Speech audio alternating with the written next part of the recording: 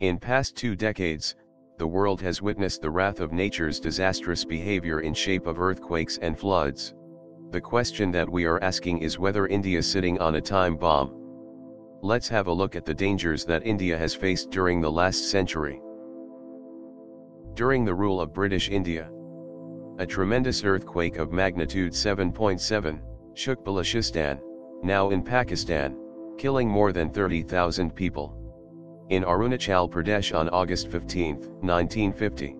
An earthquake of magnitude 8.6 killed about 3,000 people. In 1905.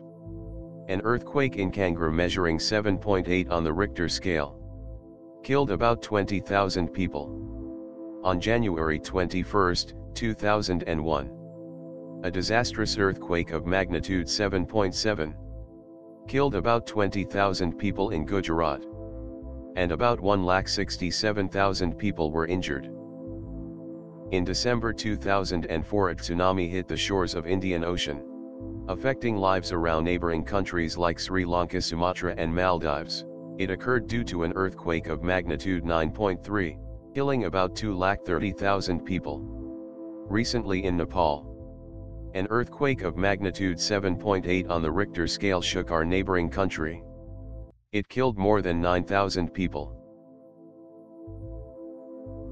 In India, states like Gujarat in the west, Jammu Kashmir Himachal Pradesh and Uttarakhand in the north, and Bihar and Arunachal Pradesh in the east are always on high alert for severe earthquakes. The most important question is that who is the real killer? We must remember that not earthquakes but poor building structures kill people. As per geographical statistics of India, around 54% of land in the country is vulnerable to earthquakes. Looking at the disasters that India has faced in the last century, we must make sure that we get ready by using proper measures to avoid any loss of life by any earthquake in the future. And looking at the frequency we have to make sure we do it as soon as possible.